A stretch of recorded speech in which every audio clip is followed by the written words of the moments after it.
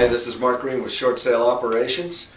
And you know, I've been talking to you for quite a while about the Mortgage Debt Relief Act, the Mortgage Debt Forgiveness Act that is expiring on December 31st, 2012.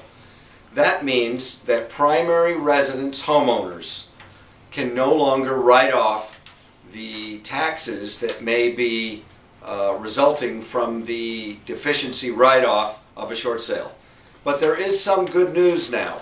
Believe it or not, the Senate Finance Committee has put together a proposition to extend the Mortgage Debt Forgiveness Act to December 31st of 2013. Now, the Senate adjourned in August before they were able to pass it, but they've pledged on September 10th when they reconvene that they're going to move forward on this and there doesn't seem to be any opposition to the bill. So there's good news on that front.